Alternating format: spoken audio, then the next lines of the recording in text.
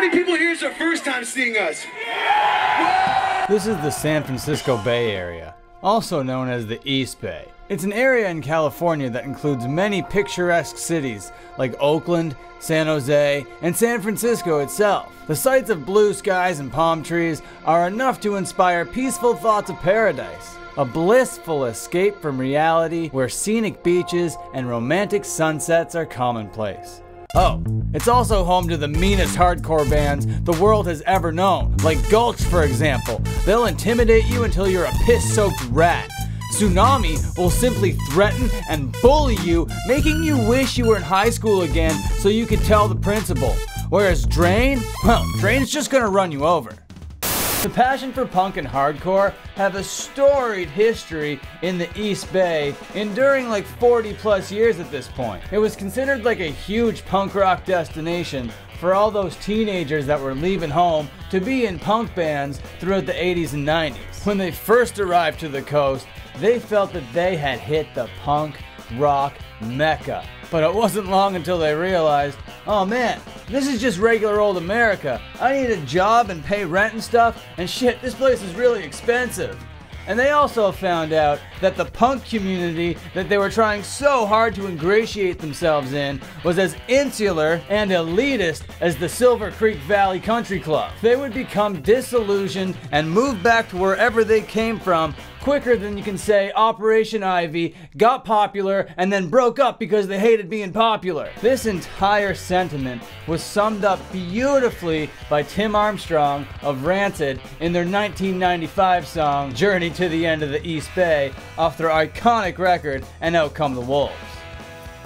Gilman Street in the East Bay was like the venue, okay?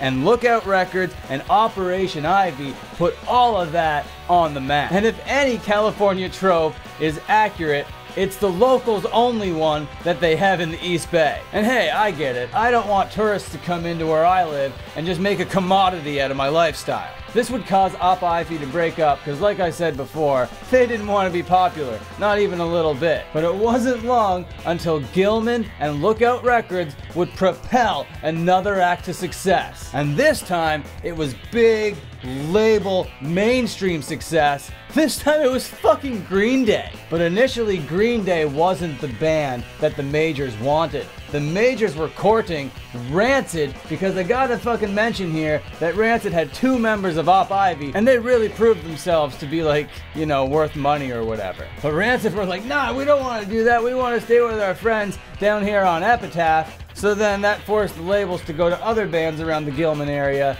and they found Green Day. Yes, boy, they did. Like, there's an alternate timeline where an Out Come the Wolves replaces Dookie in pop culture, and I don't have any idea how to process that image. But either way, the East Bay was going to be on the forefront of the huge boom of the punk scene in the 90s. But that's all like whatever, who cares, you know? What's cool is that it's been over 40 years, and the East Bay is still bumping.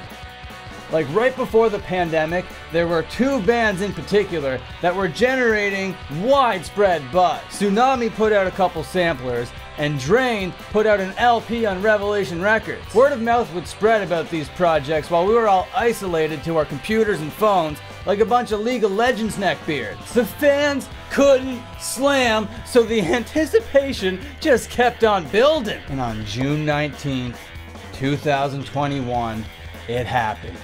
Real Bay shit. A show, yes, a live performance headlined by Sunami and Drain in the East Bay.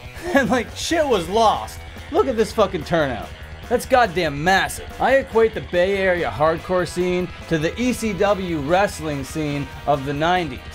Hardcore, loyal, grassroots, and immensely popular beyond anything that they should be. The only difference is Gilman didn't sell to a billionaire that should be a trillionaire because he'd surround himself with a bunch of idiot sycophants. It's amazing to me that the DIY values have endured for so long in the area. It has stayed true after all these years while simultaneously creating global superstars. I've never been to California, so I can't say for certainty that it's the best thing that ever existed, but all I can say is that the music and the values live free inside me, roasting weenies, exercising a squatter's rights.